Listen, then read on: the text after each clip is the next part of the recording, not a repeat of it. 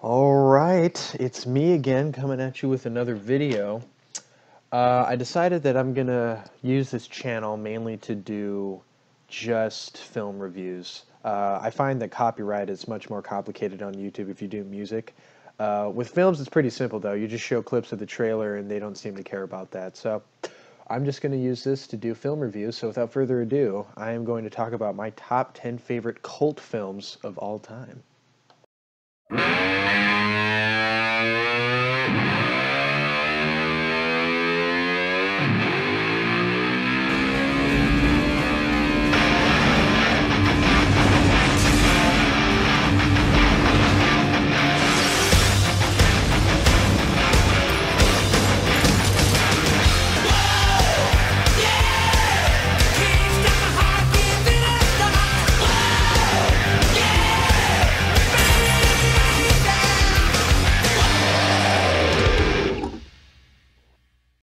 Okay, so before I go into my top 10, I want to discuss what is a cult film because it's kind of hard to uh, to describe. Some people think that cult films are films that are so bad they're good, and because of that, they have a significant cult following. But there are also movies that are cult films that are actually really good movies, but weren't appreciated in their time, and then later on became a cult classic.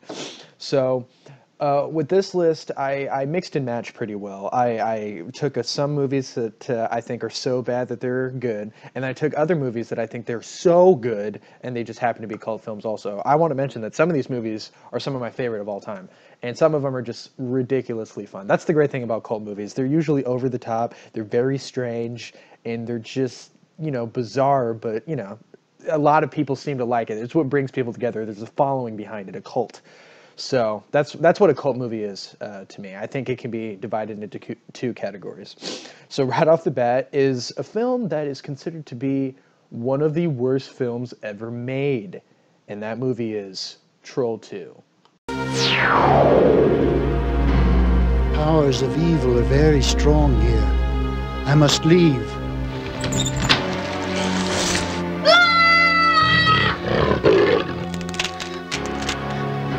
Goblins don't exist. Goblins don't exist. And remember,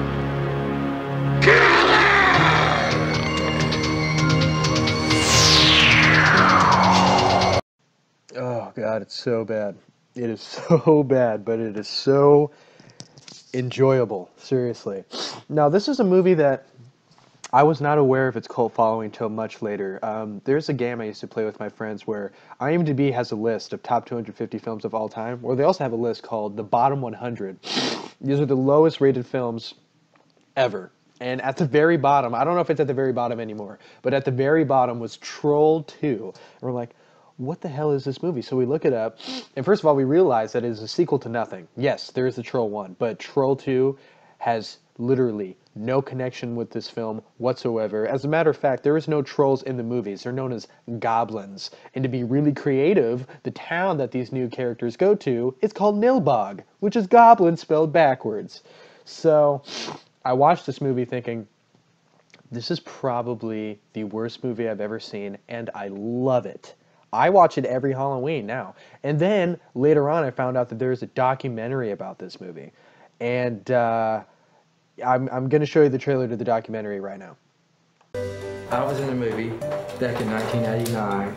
It's called Troll 2, and it's become known as the worst film of all time. Really? Yes.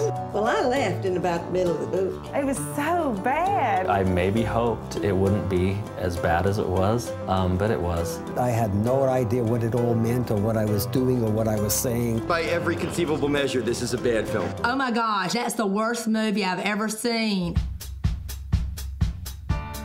There's this movie you've got to see. I've watched it a million times. Thank you all for coming to the fifth annual Los Angeles Troll 2 party. Oh, oh my god, you didn't see it? You haven't seen Troll 2? We're watching it now. And that's what people do with this movie. They pass the DVD around like it's the Bible. so as you can see there, uh, the movie definitely has a cult following. And I highly recommend if you do decide to watch this movie, watch this documentary right after, or watch it before. It doesn't make a difference. In my opinion, it makes the movie itself way more enjoyable. And in movie speaking terms, that documentary is actually extremely well made. It's actually a very good movie. the exact opposite of Troll 2. So it's a, it's another really really fun movie in my opinion. So the next film we're gonna do is from a director who is known for mainly making the Lord of the Rings movies. That's right, Peter Jackson. Before he did that, he was making some of the goriest films ever made. I give you Dead Alive. On this picturesque block, in this manicured home, something evil, something terrifying, something horrifying is haunting Ryan. I thought I told you to spray this house. The place is infested with vermin. although she was a little strict, Look at this dust. It's an inch thick. he never wished her any harm You look after me until Your mother's dead, Lionel. now, whatever mom's got Who's your mother? has caught on with the neighbors. Yeah, hard to believe this is the same director, right? uh, Dead Alive is one of those movies where I don't think it's necessarily a bad film. In fact, the film is meant to be a comedy, and you and you can kind of pick up that that tone from the trailer alone. But um, yeah, I'm watching this movie, and before I started watching it, I've heard that it is like the goriest movie ever made. Like that's that's all I hear about it, and I was like, eh, it can't be the goriest movie ever made. I mean, you got Kill Bill, you got most of Tarantino movies, you got Hong Kong action movies that are gory as hell. So I was like, okay, I'll give it a shot. Yeah, it's the goriest movie ever made, like times ten. It's ridiculous. There is a scene where. Uh, one of the guys has got a lawnmower and he's like, "Party's over." There's there's blood everywhere and it's amazing. And yeah, if you're a gore hound, chances are you've probably seen this movie. But if you're a gore hound and you haven't, watch it. It's uh, it's entertaining as hell.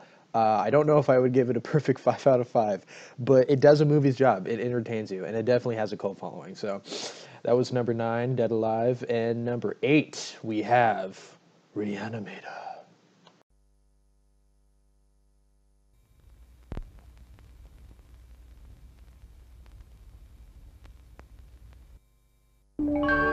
Herbert West is at the top of his class in medical school. How can you teach such drivel? These people are here to learn, and you're closing their minds before they even have a chance. What are He's brilliant, but a little weird. I've broken the 6 to 12 minute barrier. I've conquered brain death. His experiments have always been unorthodox. It was dead. But lately, they're getting out of hand. And he's just made a discovery that could wake up the dead. Herbert West has affected reanimation in dead animal tissue. What are you thinking? How do you feel?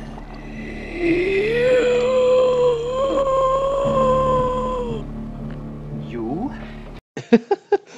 Oh god, I absolutely love this movie, Reanimator. Uh, apparently, it's inspired by an H.P. Lovecraft story, and how I know that, right on the movie poster, it says inspired by an H.P. Lovecraft story.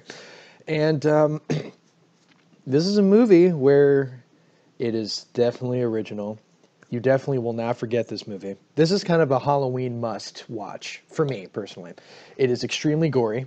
Uh, as you could tell, there is a pretty sweet beheading in that scene right off the bat. And I don't know. You, this is one of those movies that makes you want to find more cult movies like this. It is a movie that I I'll hold very dear to my heart because I remember having a movie night at one of my friends' house and we got this movie.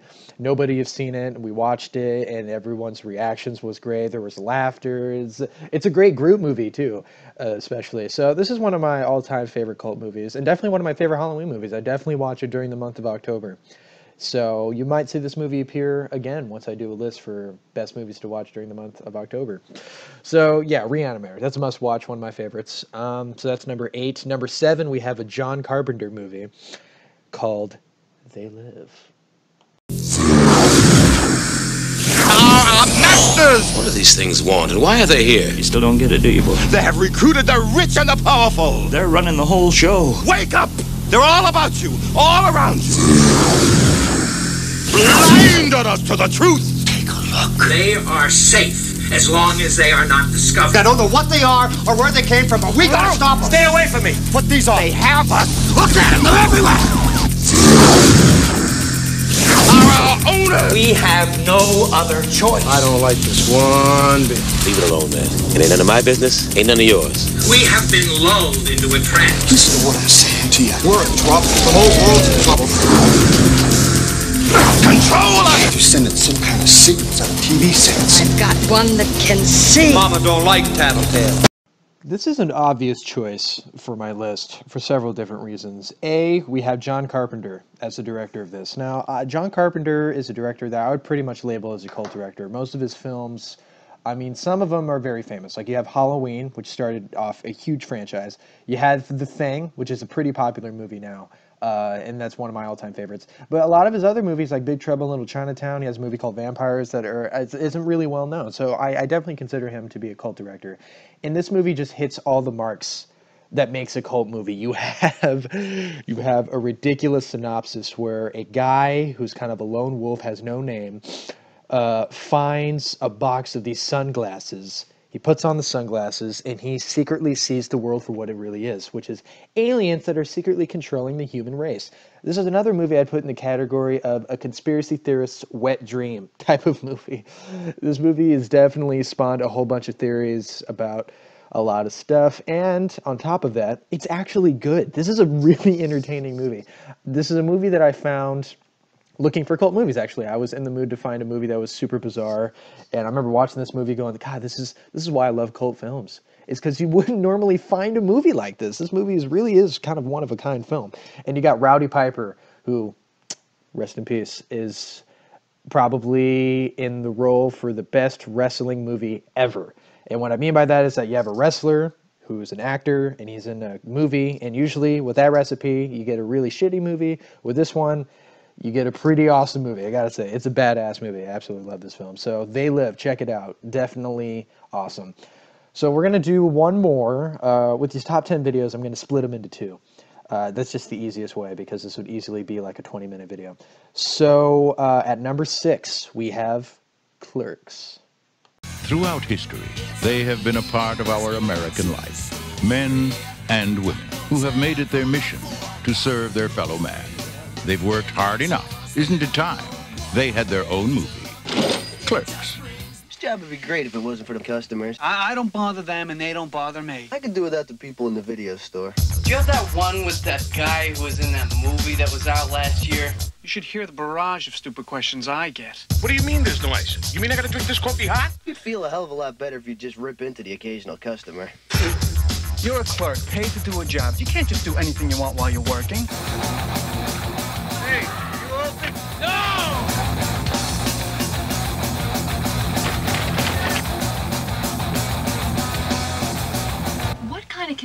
Store do you run here? Yeah, Clerks, man. Uh, I mean, what can you say about this movie that hasn't already been said? It's definitely a movie that wasn't meant to be as popular as it was, and it definitely got it got bigger because it turned Kevin Smith into a directing star. I mean, this movie really did make his career, and he's made a lot of movies based in this Clerk universe. I mean, you got Chasing Amy, Mallrats, Jay and Silent Bob, Clerk 2, and I also hear that he's coming out with uh, a second Mallrat movie and a possible Clerk 3 movie. So this movie definitely made his career, I'd say. And, and that's not a bad thing because this is a really great movie, and those other movies are pretty great too. Uh, but this is definitely his best movie, in my opinion. Um, yeah, I compare it with some of Quentin Tarantino's stuff in terms of the dialogue. The characters don't say things that are necessarily uh, crucial to the story, but definitely tell you a lot about their character. So I definitely picked that. Uh, I picked that vibe up a lot in this movie. But yeah, this is a, this is a smartly made film, in my opinion. It's very crude. That's pretty much every Kevin Smith fan. But uh, if you're a Kevin Smith fan, you automatically know about this movie. I've never met someone who's like, "Oh, I love Kevin Smith, but I hate the first Clerks movie." That person doesn't exist. If you're a fan of Kevin Smith, you're a fan of Clerks. This movie made him what he is, and uh, it's a great movie, and uh, you should definitely check it out. Don't watch this with your parents. I have made that mistake. It was weird. This is not a parent film. Watch this with your immature buddies. Don't watch this with a, a parent or a grandmother or something like that. So, pass. Okay, so that's the end of the first part of this video, and the second part I'm going to upload tomorrow.